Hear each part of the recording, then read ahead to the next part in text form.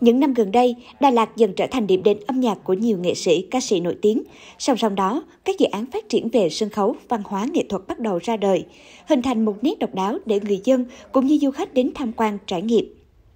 Trong đó, dự án chính kịch lịch sử Việt được diễn ra tại Nhà hát Đà Lạt với tên tiếng Anh là Đà Lạt Opera House. Mong muốn trở thành một địa chỉ du lịch đậm chất văn hóa nghệ thuật về đêm dành cho người dân, khách du lịch trong và ngoài nước. Với tham vọng trong tương lai, sân khấu chính kịch tại Đà Lạt Opera House được xem là chương trình học ngoại khóa môn lịch sử và văn học bằng hình thức nghệ thuật, đồng hành cùng ngành giáo dục với các trường cấp 2, cấp 3, cao đẳng và đại học. Dự án sân khấu chính kịch lịch sử Việt hướng đến đối tượng học sinh, sinh viên thành phố Đà Lạt nói riêng và toàn tỉnh Lâm Đồng nói chung. Sân khấu chính kịch lịch sử Việt công diễn lần đầu tại Đà Lạt Opera House với vở kịch Khóc giữa trời xanh, đạt huy chương vàng Liên hoan kịch nói toàn quốc 2021 và vở kịch Yêu là thoát tội,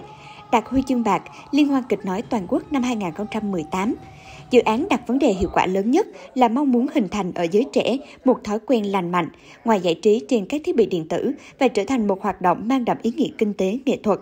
Đưa Đà Lạt, Lâm Đồng hướng đến một nét đặc trưng độc đáo về giá trị lịch sử Việt, được tạo hình qua nghệ thuật sân khấu.